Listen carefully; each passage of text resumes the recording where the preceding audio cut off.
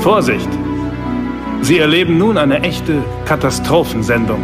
Hey, meine süßen Donuts! Herzlich willkommen zu einer neuen Filmreview und heute geht es um Dragon Ball Evolution! Ich mache erstmal ein paar Fakten zum Film. Erscheinungsjahr 2009. Länge 82 Minuten. Regie James Wong. Drehbuch James Wong und Ben Ramsey. Produktion Stephen Chow. Musik Brian Tyler. Kamera Robert McLachlan. Schnitt Chris G. Willingham und Matt Friedman. Justin Chatwin spielt Son Goku. Chow Yun-Fat spielt Muten Roshi. James Masters spielt Piccolo. Jamie Chung spielt Chi-Chi. Amy Rassam spielt Bulma. June Park spielt Yamcha. Eriko Tamaru spielt Mai Randall. Duke Kim spielt Gohan. Texas Battle spielt Carrie Fuller. Ernie Hudson spielt Sifo Norris. Merchandising! Das Buch zum Film ist wie der Manga Dragon Ball beim Carlsen Verlag erschienen. Was ist das denn für eine dämliche Scheiße? Basierend auf dem Film entstand ein Computerspiel für die PlayStation Portable, dessen Darstellung der Charaktere aber keine Ähnlichkeit mit, dem mit der bekannten Dragon Ball Spielereihe aufweist. Auch Actionfiguren, die auf dem Film basieren, werden zum Verkauf angeboten. Bevor wir anfangen, dieser Film soll die erste, ich wiederhole, die erste Dragon Ball Serie in Real-Life-Version darstellen. Damit ist der Endantagonist Piccolo, Sohn des Oberteufels Piccolo. Fun Fact, der Macher von Dragon Ball Akira Toriyama war selber dort und wollte den Film retten. Die aber so... Nö. Chaos über unsere friedliche Welt. Mit der Hilfe seines Jüngers Osaru. Wait, what? Seit wann hatte Piccolo ein Ozaru als Jünger? Saiyajin und Namekianer waren niemals in der Geschichte von Dragon Ball Verbündete. Zu keinem Zeitpunkt haben sie zusammen Planeten erobert. Obwohl, das wäre schon eine witzige Vorstellung. Ey, yo, du da. Ich bin Namekianer. Und was bist du? Ich bin ein Saiyajin. Wollen wir zusammen einfach Planeten übernehmen? Äh, ja. Wir müssen dann nur Meister Freezer weitergeben. Wer ist Freezer? Äh, das erfährst du später. Okay. Freezer! Was, äh, was willst du, dreckiger Affe? Und was ist dieses grüßen, was ist dieses grüne Ding neben dir? Ähm, das ist ein Amerikaner und wir haben zusammen ein paar Planeten für dich übernommen. Ui, toll. Schließlich sprachen einige tapfere Krieger den Mafuba aus, einen mächtigen Zauber, der Piccolo tief im Innern der Erde einschloss. Da sein Meister gefangen war, verschwand Osaru und allmählich wurde das Gleichgewicht unserer Welt wiederhergestellt. Ein paar mutige Krieger haben also das Mafuba eingesetzt. Waren die Krieger zufälligerweise Mutaito, Muten Roshi, Tenshin Han und Gott? Weil nur diese Leute das Mafuba anwenden konnten.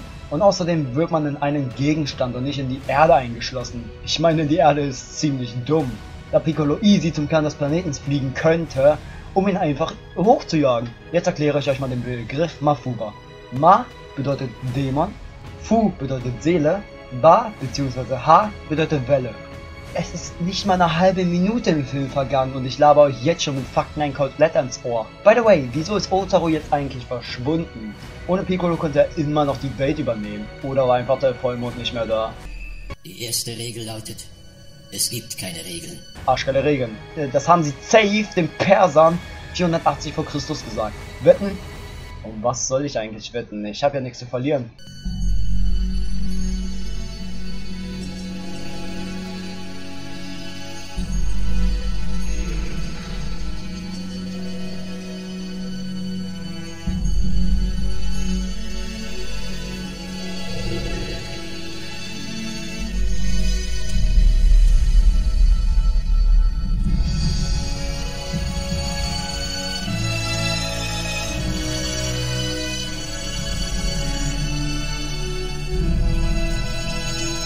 Okay, wir sehen einen Teenager oder erwachsenen Son Goku. Auf jeden Fall ist er hart am Schwitzen.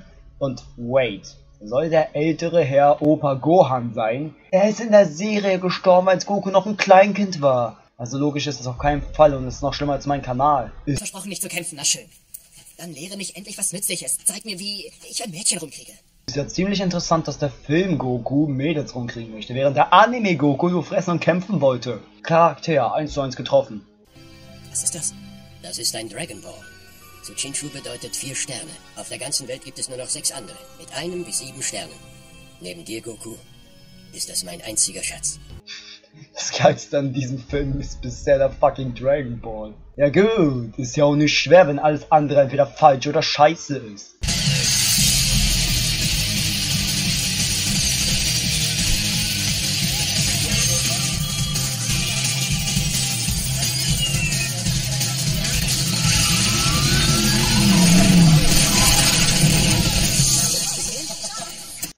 The fuck? Goku geht zur Schule? Also jetzt mal ehrlich, über jeden vorherigen Fehler hätte ich, wenn ich stoned oder besoffen wäre, hinweggesehen. Aber das, das geht zu weit. Ich zeig dir an.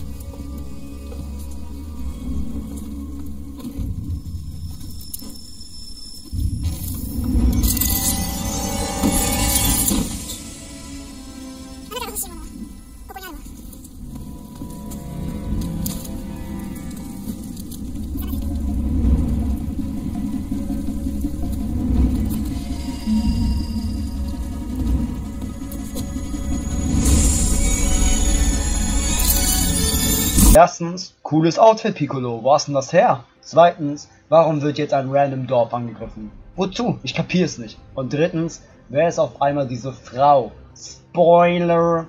Das ist Piccolos Gehilfin. Ich weiß, klingt weird, ist aber so. Boah, Piccolo, du hast ja die Hosensack-Transformation geschafft. Respekt! Bisher konnte das nur Palpatine. Genau. Seit Anbeginn der Zivilisation gab es viele Versuche einer Erklärung. Oft galt eine Sonnenfinsternis als Vorbote des Weltuntergangs.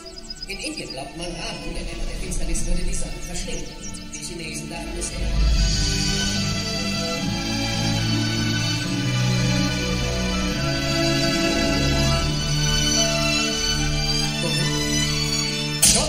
Goku sitzt im Unterricht und geiert auf Chichi. Ähm, ja, richtiger Kämpfer um Vielfraß. Was?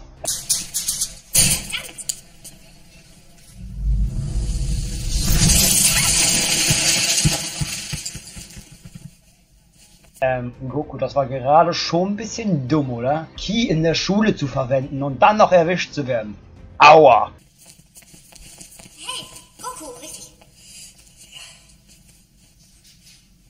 Warst du das? Äh, ja. Du nutzt dein Ki. Was, du kennst dich mit Ki aus? Nur weil mein Name Chichi ist, bin ich keine Vollidiotin. Klar, klar, es gibt viel blödere Namen als Chichi. Damit will ich nicht sagen, dass Chichi ein blöder Name ist. Er ist nur einfach nicht so normal. Äh, Aber normal wird überbewertet. Das soll nicht heißen, dass du dumm oder überbewertet bist. Ich, Klappe. Hey, bei mir steckt heute Abend eine Party. Ich komm gern. Okay. Bro, WTF, woher weiß Chichi, was Ki ist? Die weiß ja nicht mal, was ein amerikanischer Toaster ist. Es ist das? Ein amerikanischer Toaster. Goku, du Idiot, sie redet mit dir und du verkackst es. Ähm, vergesst, was ich gesagt habe. Er hat es geschafft. So kriege ich also auch eine Freundin. Ich muss sie behandeln, als wäre sie dumm. Lol, ich dachte, ich müsste respektvoll, loyal, treu und ehrlich sein, aber nein, das Gegenteil muss her. Danke, Goku. Alles Liebe zum Geburtstag! Goku?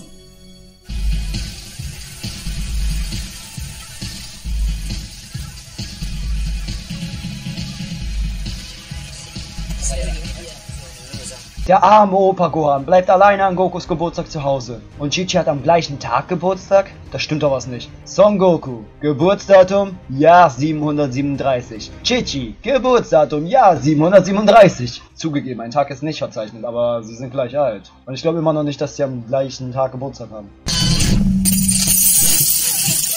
sicher wehgetan. Leute, das war gerade Carsten Stahl. Nur in krass.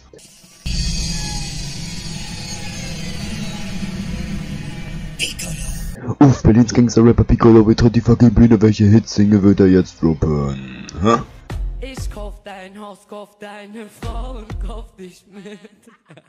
Ich hab mich niemals ausgezogen für die Mach uns auf jeden Fall Kunden, Verbund ist Donner, unter die Brille. Berlin, was geht ab? Seid ihr gut drauf oder was? Verbrennt ihn es jenes.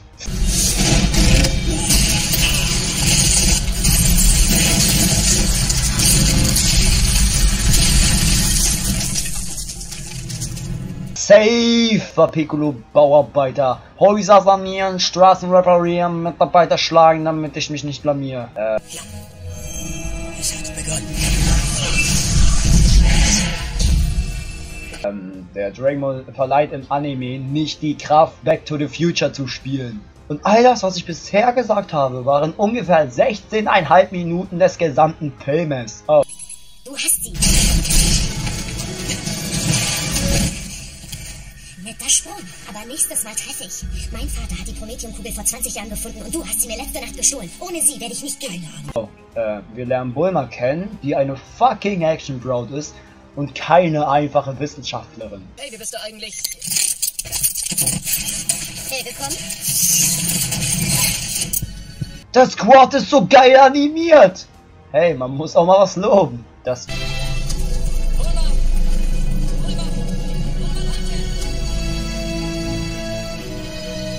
Kami-Haus ist im Anime auf einer einsamen Insel und nicht in der fucking Großstadt. Warte. Bulma, du kannst doch nicht einfach irgendwo einbrechen.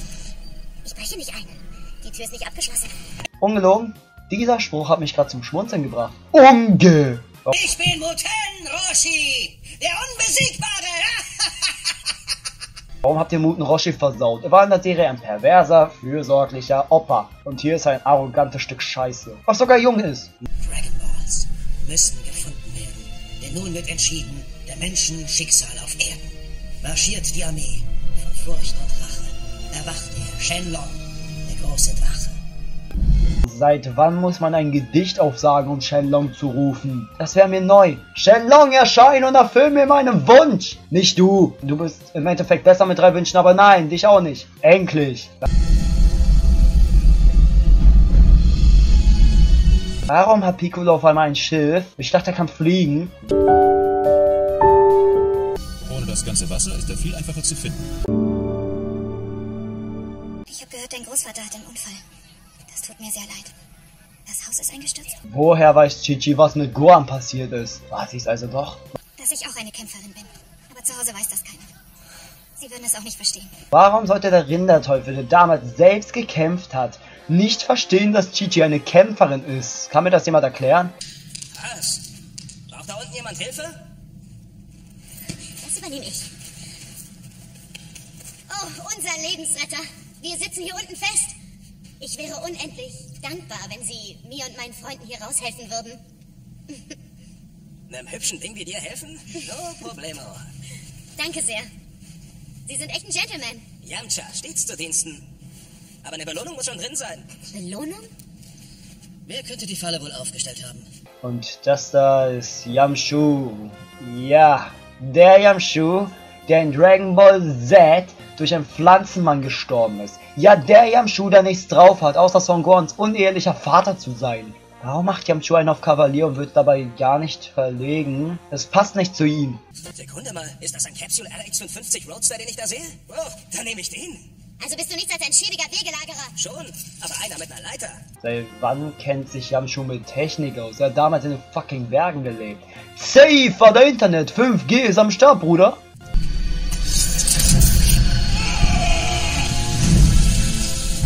Durch euer Blut wird er zum Leben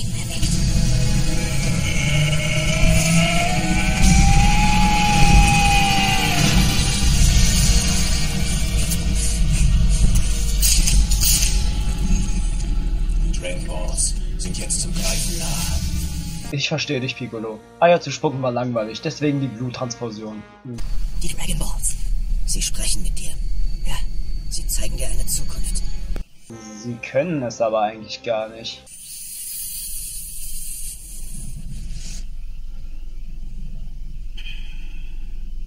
Lass sie dich durchdringen.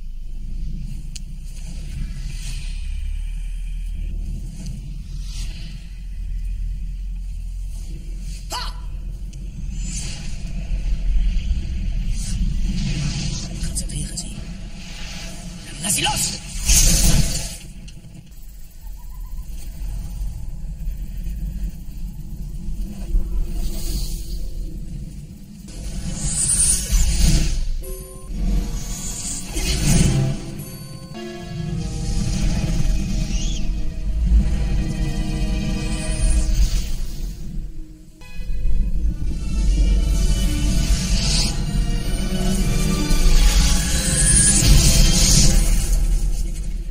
Im Film muss Son Goku das Kamehameha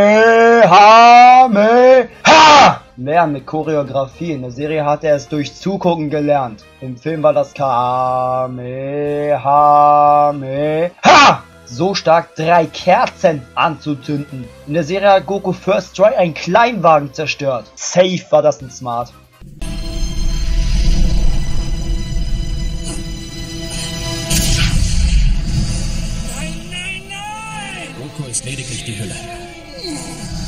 Ist ein wahres Ich. Dem Meteor kamst du hierher, um dich 18 Jahre lang inmitten dieses Abschaums zu verstecken. Hier bist du gelandet und hier wirst du wiedergeboren. Als mein Diener.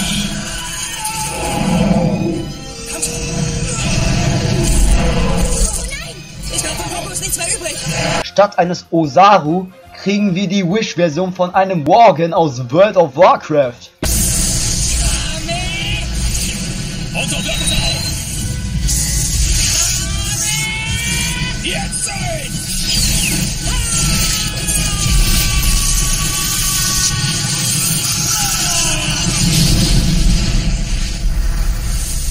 Zeige nur das Ende des Kampfes, weil ich Zeit sparen möchte, sagt der, der sich so, der so viel zu sagen hat wie alle Shakespeare-Romane und alle Star Wars-Teile zusammen. Er besiegt Piccolo mit dem Kamehameha!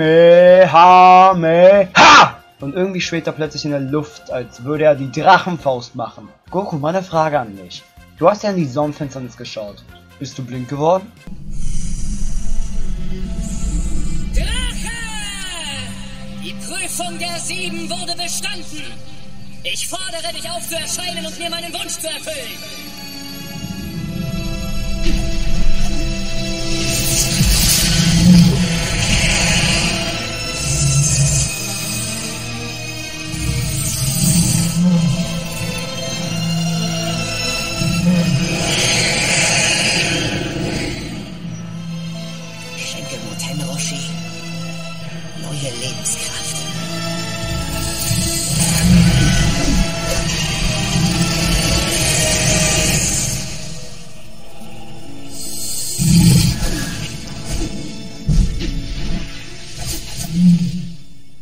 Muten Roshi wird wiederbelebt und Shenlong ist im Film 4 Meter groß. Spaß, das ist Shenlong, äh, das ist nicht Shenlong, das ist ein Lilliputaner aus einer anderen Dimension.